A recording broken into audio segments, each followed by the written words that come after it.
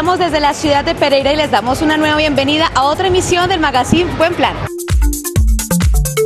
Hace unos días nos dejó un gran icono del heavy metal, del rock and roll, del rock, como lo quieran llamar ustedes. Él era Ronnie James Dio, el ex vocalista de Black Sabbath. En Buen Plan le hacemos un tributo.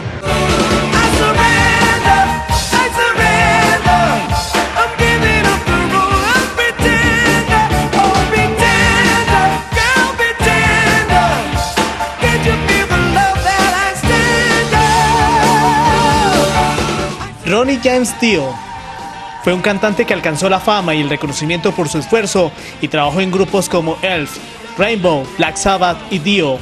Por su inconfundible técnica, timbre y registro, muchos lo han considerado una de las voces más emblemáticas de la historia del heavy metal. Nació en Portsmouth, New Hampshire, en Estados Unidos el 10 de julio de 1942, con el nombre de Ronald James Padabona.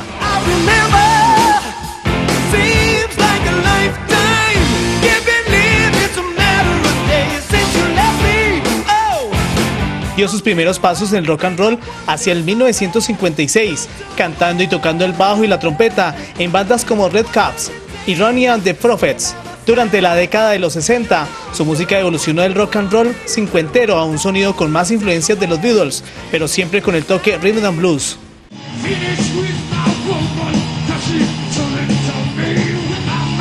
Nada más dejar Rainbow, Ronnie James Dio entró como vocalista en una de las más grandes bandas de los 70 y que había definido a principios de esa década los cimientos de lo que más tarde se denominaría heavy metal. Esa banda era Black Sabbath. Dio reemplazó a Oxy Osbourne, que entró en ese tratamiento de desintoxicación por su afición a la bebida y otras sustancias.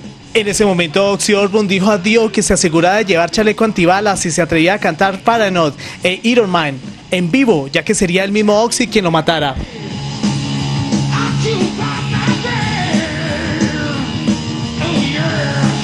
Al grupo se le presentaba la difícil tarea de intentar seguir en la brecha, habiendo perdido a su cantante original. No obstante, Ronnie le dio un nuevo aire a la banda para que dejase el heavy metal setentero y se acercara más al heavy metal que estaba de moda en los años 80.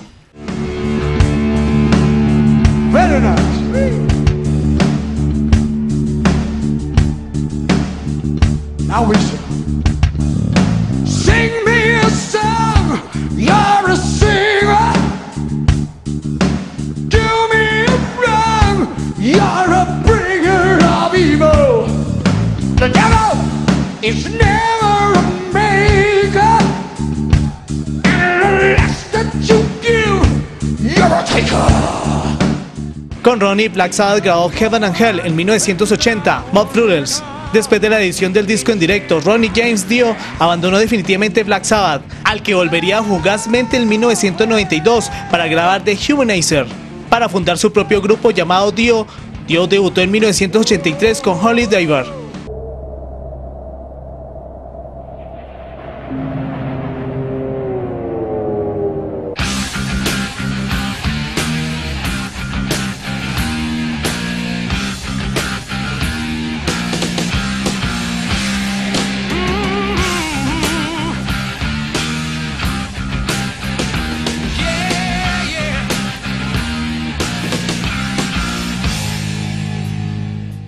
Ronnie James Dio, a pesar de tener 67 años, continuó grabando discos, realizando giras y conciertos.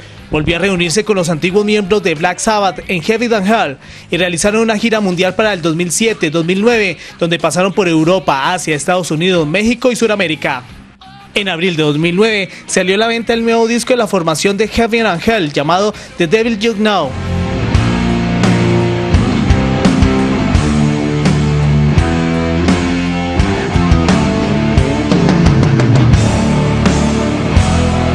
Este CD contó con 10 canciones nuevas y fue motivo de una gira mundial. El primer single de dicho álbum fue la gran canción Bible Black. El 25 de noviembre de 2009, Wendy Dio, esposa y manager, anunció que Ronnie fue diagnosticado con cáncer de estómago.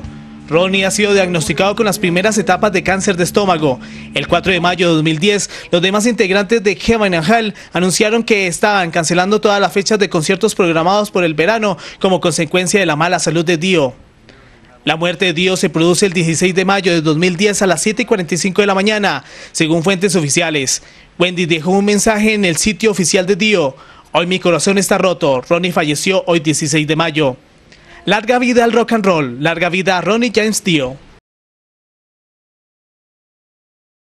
El agua, el aire, la tierra, el color y la magia se dieron cita para la inauguración de Expo Agua 2010 en el lago Uribe Uribe de Pereira. Los titanes del universo, seres míticos del pasado, llegaron a Pereira y se tomaron el lago Uribe Uribe para entregarle a los pereiranos uno de los más grandes eventos que se realizará en materia ambiental, Expo Agua Pereira 2010. El acto inaugural estuvo lleno de magia, color y todos los elementos como el aire, el agua, el fuego y la tierra.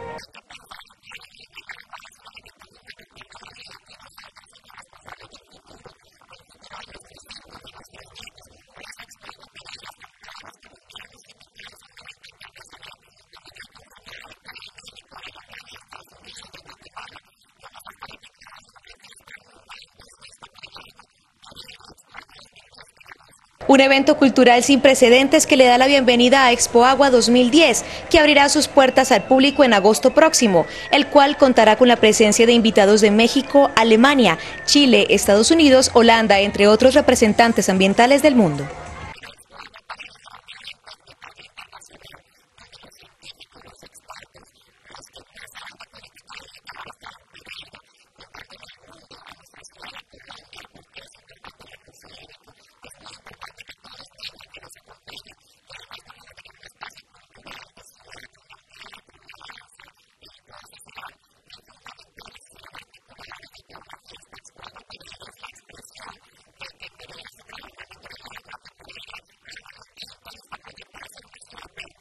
Representantes y líderes ambientales de varias comunas de la ciudad también asistieron a la inauguración. Según ellos, este evento es el reflejo del gran esfuerzo ambiental que la empresa Aguas y Aguas ha venido liderando para proteger los principales afluentes de Pereira.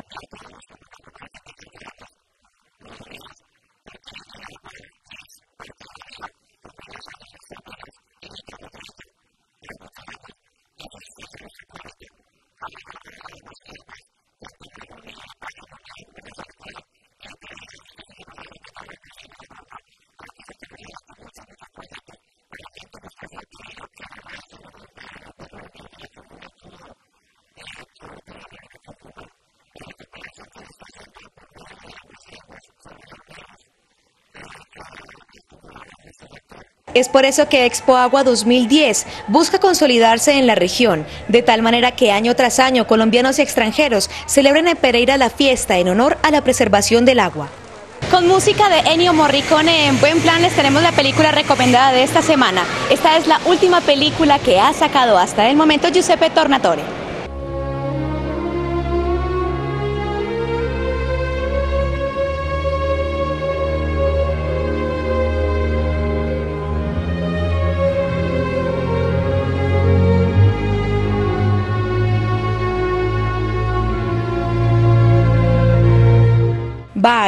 Es un relato épico que abarca tres generaciones, desde la época de 1930 hasta los tiempos modernos, usando como telón de fondo el surgimiento del fascismo, la Segunda Guerra Mundial y los manejos políticos de la Italia de posguerra.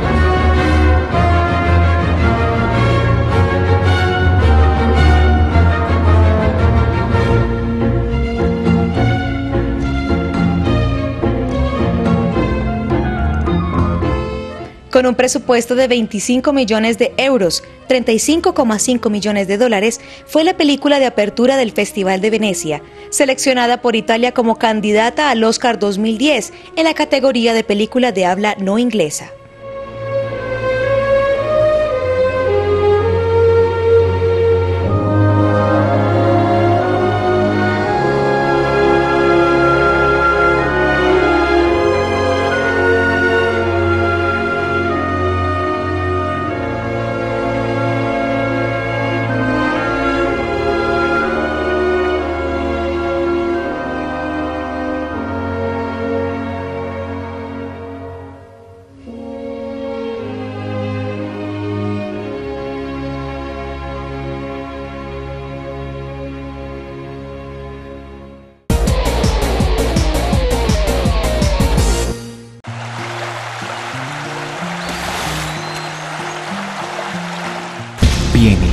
Grande.